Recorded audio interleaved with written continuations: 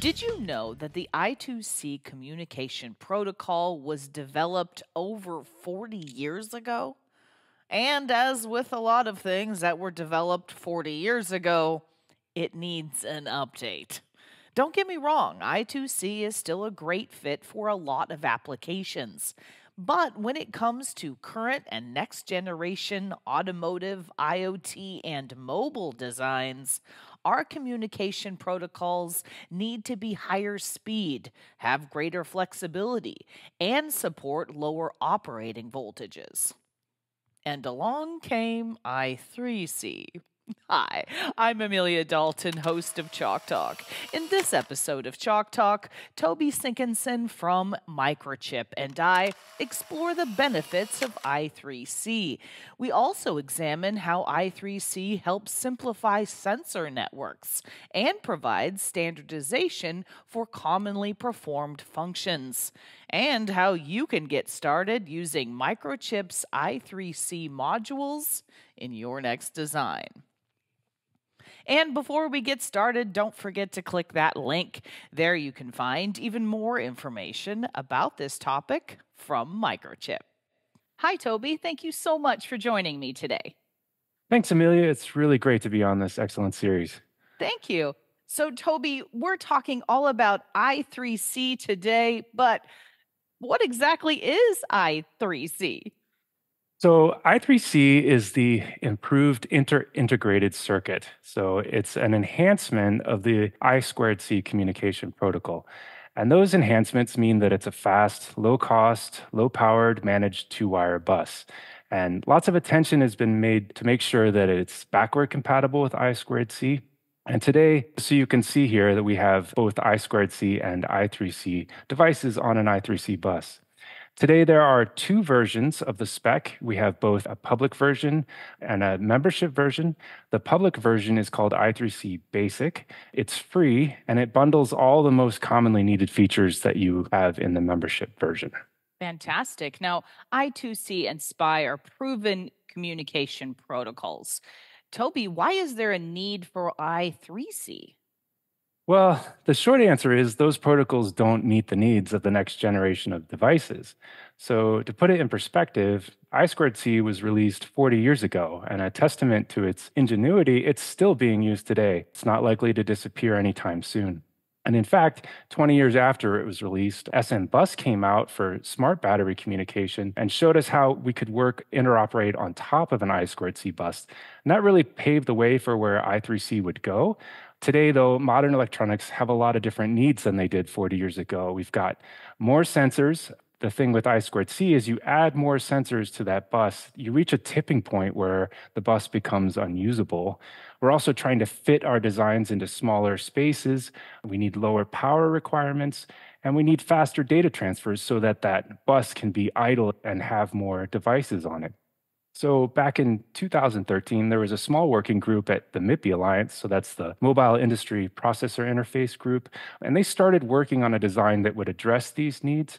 They wanted to leverage the best of I squared C, SPI, and UART. And three years later, they came out with the I3C spec in 2016. So it's been out for a while, but it's really starting to gain traction now.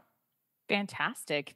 So, Toby, talk to me about the new features in I3C that that MIPI Alliance created to address these needs. Well, they fall into three main buckets. There's improvements in speed, improvements in power consumption, and improvements in flexibility. In terms of speed, the I3C clock can now operate up to 12.5 megahertz.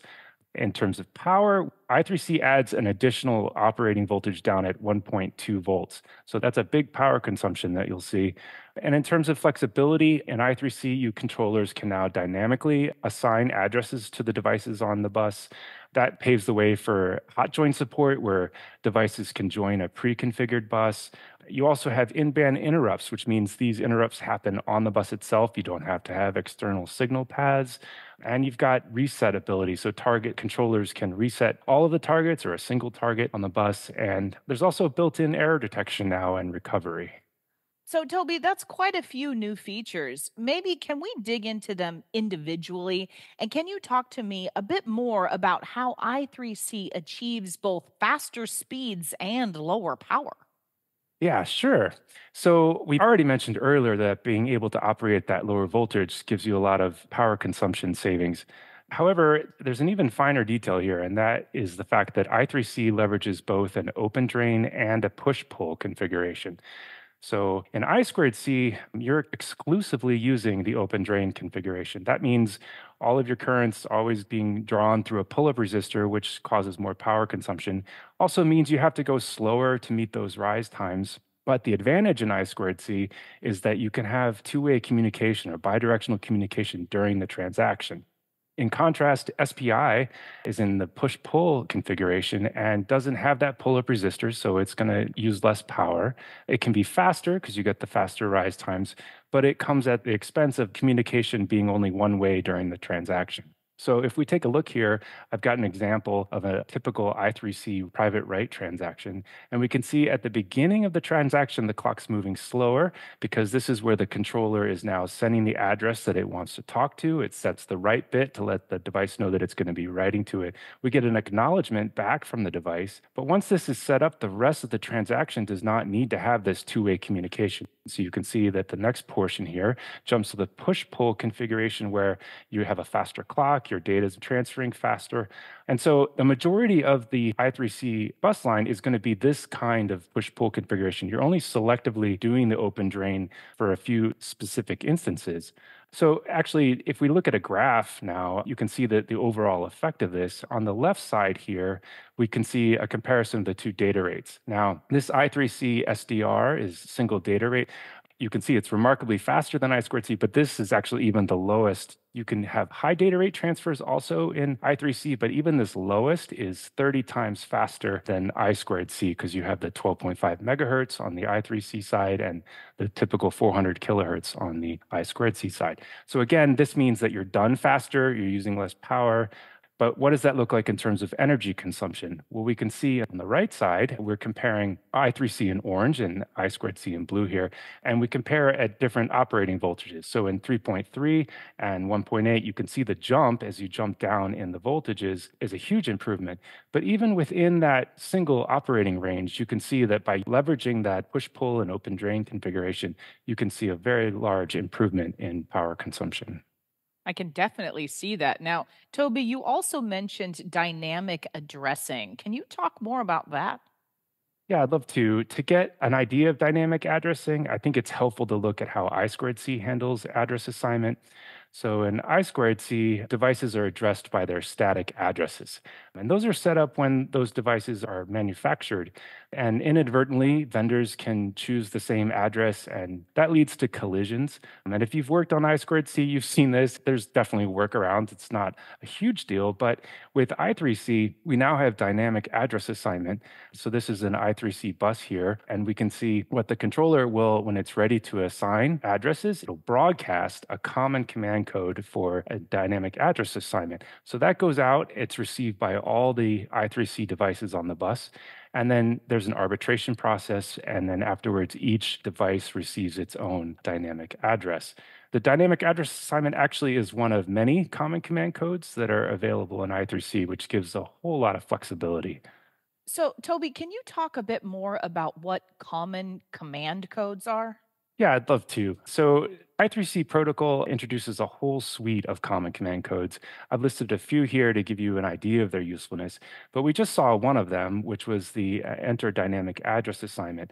And that's an example of a broadcast common command code. So these are command codes that controllers will want to broadcast to all of the devices on the bus, and it can quickly move through all of them. So it's very efficient in that way.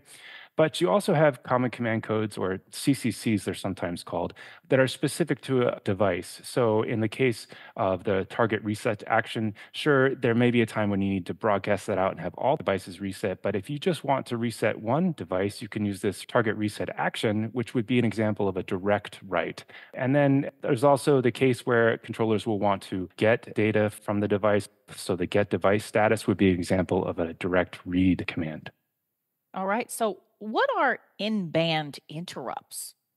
In-band interrupts are a way in I3C that now devices on the bus can signal the controller, but they don't have to have separate signal paths. So in this diagram here of the I squared C, we can see that when this top target needs to send an interrupt, it has to use this separate line in order to interrupt the controller. But in contrast with the I3C design, when that target wants to signal an interrupt, it will send it directly on the I3C bus lines. So this is great, especially for making your designs less complicated. But there's another really nice feature here, and that's that since the controllers are dynamically assigning these addresses, when targets and devices want to signal the interrupt signal, they use their own dynamic address. And so what this means is if a controller wants to give that device a higher priority, when it's assigned assigning its dynamic address, it will make sure that it has the lowest address according to that. So it sets priority by the address itself. Okay, so can you also talk about hot join? Yeah, this feature also comes into play because we have that dynamic address assignment. So let's say you've got a bus and you want to keep your device powered off to save power. It can be powered off even while the bus is pre-configured.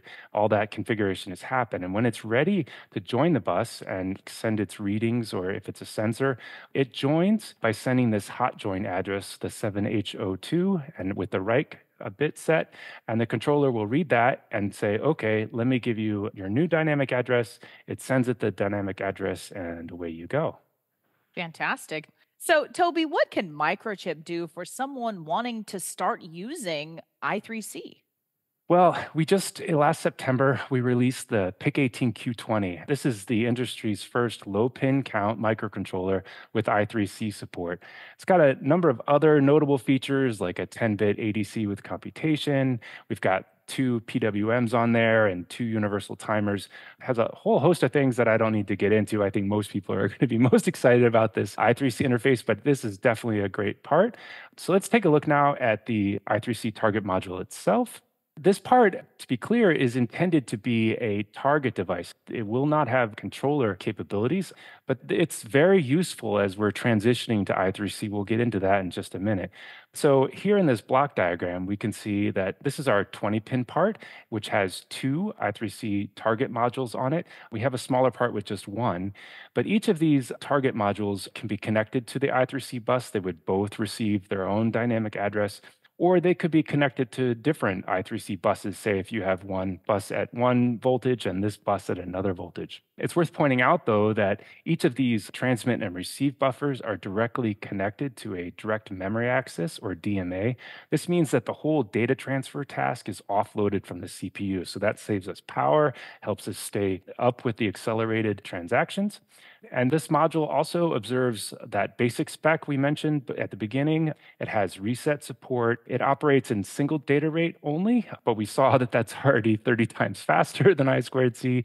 It's got in-band interrupts and hot join support, error detection and recovery there are a whole host, 23 different module level interrupts that really allow your application layer to interact with this hardware layer.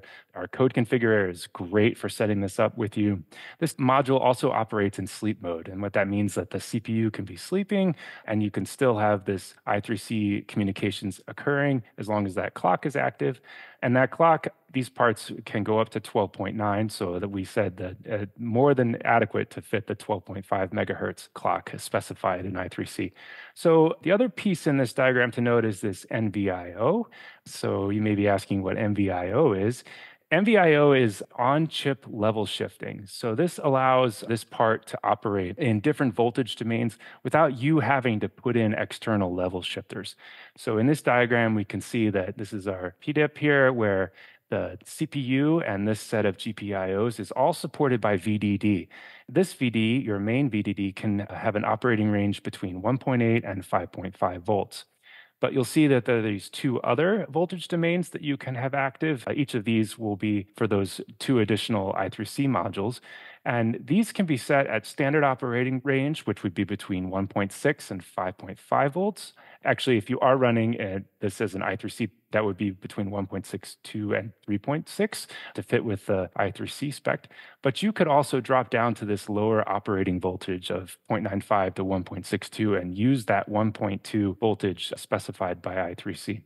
So looking at the QN, just to give a, a maybe a more clear of what this looks like in action. So we see here that our Q20 is operating at 5.5 volts, so it can communicate with this I squared C sensor that's also operating at 5 volts. But it has I3C communication with a controller that's operating at 3.3 volts and another line that it's operating at 1.8 volts. So a whole ton of flexibility here as you're adjusting your designs and trying out different things. Excellent. Now, Toby, do you have any examples that show the flexibility of the Q20 in I3C designs? Yeah, I have a few here. So, this first example, let's say you have decided to move on to I3C and you have a couple of I3C devices and an I3C controller, but you have these analog sensors and you want to be able to interface with them. If you place a Q20 on this I3C bus, what this sets up is the ability for the controller to calibrate these devices over the I3C lines. The Q20 will pass that along to these sensors, and then the Q20 can now respond to the read commands and transmit the values from these sensors to the I3C controller using the I3C protocol. Another nice feature of this is that since the Q20 is there with these sensors, it can be monitoring them. So once they cross some certain threshold, the Q20 can alert the controller with an in-band interrupt. You don't have these extra signal paths. There's a lot of flexibility there. In another case, we call this the multi-protocol translator. So similarly, let's say you have an SPI device and that device doesn't have an I3C part similar available and you still want to use it. Here, the Q20 can act as the translator so it can receive the I3C communication, translate that to SPI and then SPI back to I3C. That's a very nice feature there. And then you'll notice, wait, so there's I squared C devices here. I thought we said I squared C could operate on I3C bus. And indeed it can, it does. We see that. But one thing that I haven't had a chance to mention yet is that in I3C, controllers have sole control of the clock line. So in I squared C, both targets and controllers had the ability to pull the clock line low. And when devices did that, that was otherwise known as clock stretching. And you do that maybe if you didn't have enough time to pause the communication that's not possible anymore in I3C. So if you have a situation where you still want to be able to support that, the Q20X is a wonderful way to bridge that as we're moving to this next generation communication protocol. All right. So, Toby, how soon will we see I3C in new designs? Yeah, that's a great question, right? I will say that I3C is gaining a ton of traction right now. All of the major chip manufacturers like Microchip have already integrated I3C support into their products. I think industries like SSD data centers, where because they're operating at scale, these power improvements have a huge effect on all of our lives and the planet. And there's a lot of good reason there to see this happening there. And in mobile devices, which were you know one of the main inspirations for i3c where you need that smaller design you want to have less complicated and more sensors in there those are two places where I think we'll see this very soon. We're already seeing it. But major manufacturers have also backed I3C as the sensor interface standard for the Internet of Things devices. So we're going to see that there too. But ultimately, this is going to depend on when compatible devices are available, how much it costs to start implementing this, and the ease of validating it and market demand in general. But again, this is where the Q20 offers a lot of flexibility as that transition is happening because of some of those examples that I was just showing. Uh, so if your viewers are interested in learning more about I3C and the Q20, we've got a development board at Mouser, and this is a great way to get started. We have some excellent code examples for you and tech briefs that actually will walk you through what a hot join looks like, what a private write transaction, read transaction, in-band interrupts, and resets. And it's also very easy to add a I3C protocol analyzer here to your bus and be able to debug and decode these signals. So whether your viewers want to set up a bridge to work with legacy devices or the ability to work with multiple voltage domains without external level shifters, this is a great way to get started learning about I3C. So, Toby, if my audience wants even more information about I3C, where should they go? Well, for a more in-depth look into I3C, I do recommend this video called What is I3C? We'll provide the link at the end here and as well as just downloading the spec from the MIPI Alliance that's widely available. Fantastic. Well, before I let you go, Toby, can you recap your main points for me? Yeah, sure. i3C is going to meet your needs for next and current generation devices.